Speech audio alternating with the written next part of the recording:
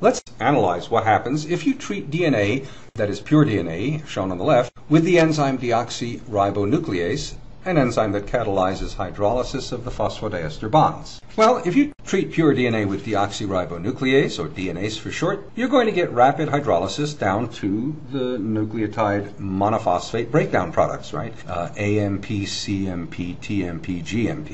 What if you take the 10 nanometer fibers, the nucleosome beads on a string structures, and treat them with DNase? Well, they will undergo hydrolysis, but it will be relatively slow. Uh, nucleotide monophosphates will accumulate slowly.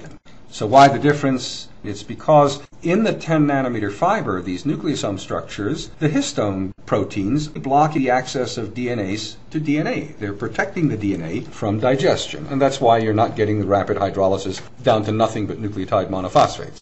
That suggested an experiment that's shown here. So beads on a string could be digested with a deoxyribonuclease, in this case a particular one called deoxyribonuclease 1, and digestion that uh, was allowed to proceed for a long time resulted in the nucleosomes being broken apart and so basically, when you look in the electron microscope, what you saw were these beads. Now I've drawn the bead to suggest the octamer core of proteins in the nucleosome.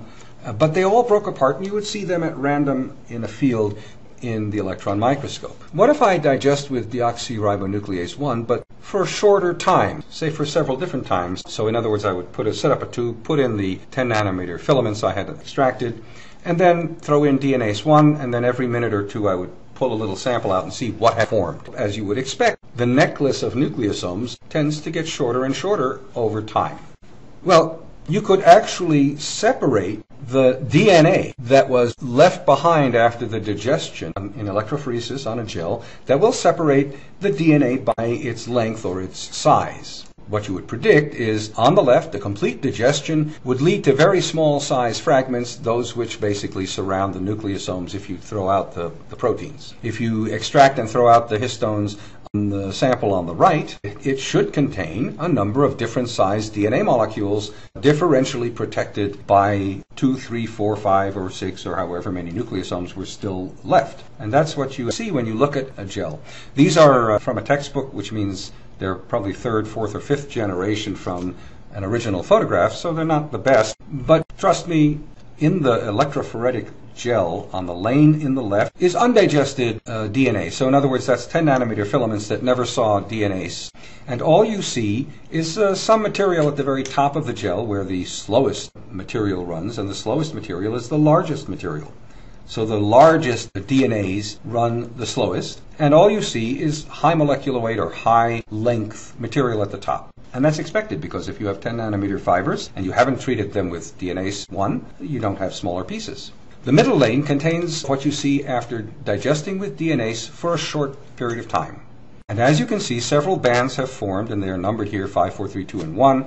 There's still a fair amount of undigested material near the top of the lane, suggesting that that DNase digest time was not enough to completely attack all of those 10 nanometer fibers. But you are getting several different lengths of DNA, and I'll talk about that in just a second.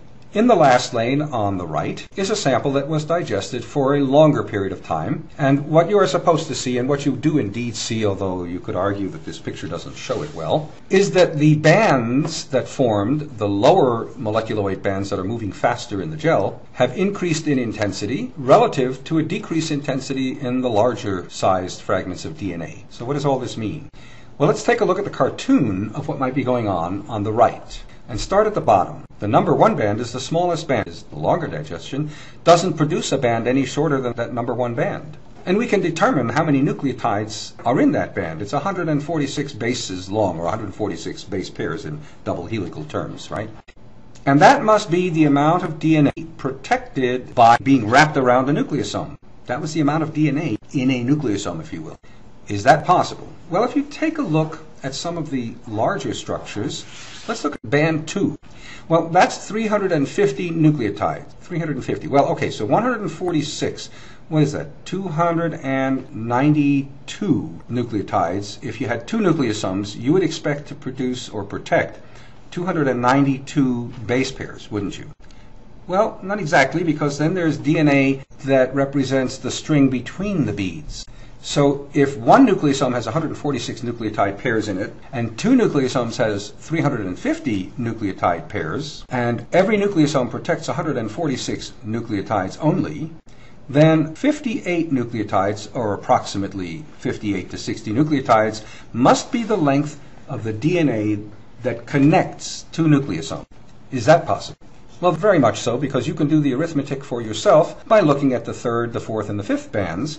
The sizes of the DNAs that you get are 550 nucleotides, 750 nucleotides, and 950 nucleotides. Again, if you do the math, you will see that if you allow 146 nucleotides to be the amount wrapped around each nucleosome, then you get a constant roughly 60 nucleotides between each nucleosome. And so you begin to get a picture of the 10 nanometer filament in terms of the length of DNA that comprise it. And that portion which is protected by the nucleosome from DNA digestion.